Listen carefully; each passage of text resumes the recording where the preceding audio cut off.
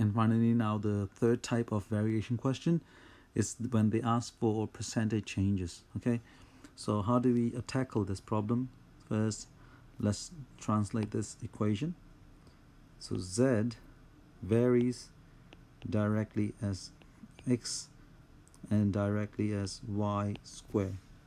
Okay, and they are asking us to find the value of z.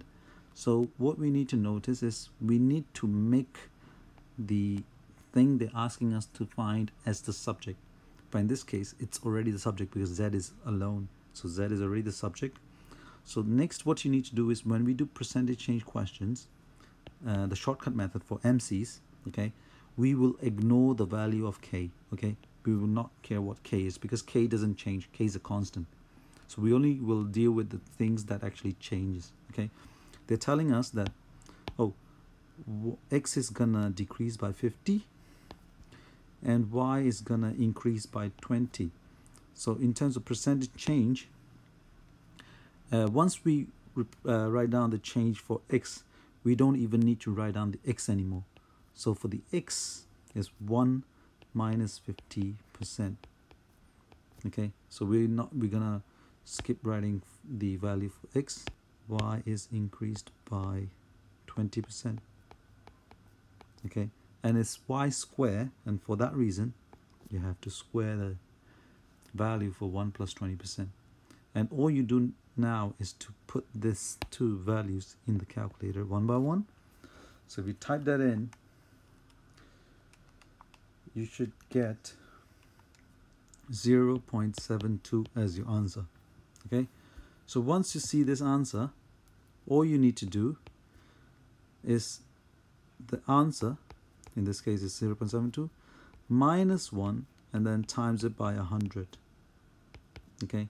So that's for the percentage change part. You minus 1 and then times 100 and you'll see that it's negative 28 so negative for the decrease and 28 is the answer you're looking for. So it's a decrease by 28% B. Okay? Let's do one more. Let's do the last one 13 uh, write down the equation first. So a varies. So just, don't use a variation sign just use equal.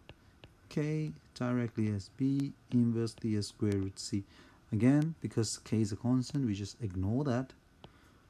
Uh, but watch out now we are asked to find b. So that means we want to make b the subject and that requires us to multiply the a with the square root of c. Okay so rearrange that b is the fact uh, is the subject of the equation. Let's now apply the changes from the question. So a is decreased by 15% so a is 1 minus 15% and c is increased by 96%. So for the C value is 1 plus 96%.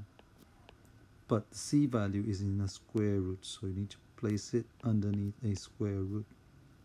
And all we need to do now is to find what that answer is. So that answer, if we do it on the calculator,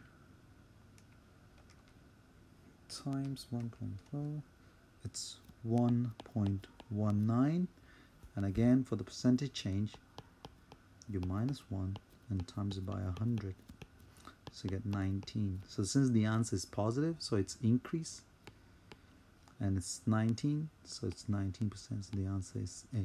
So that's all you do for these three types of variation questions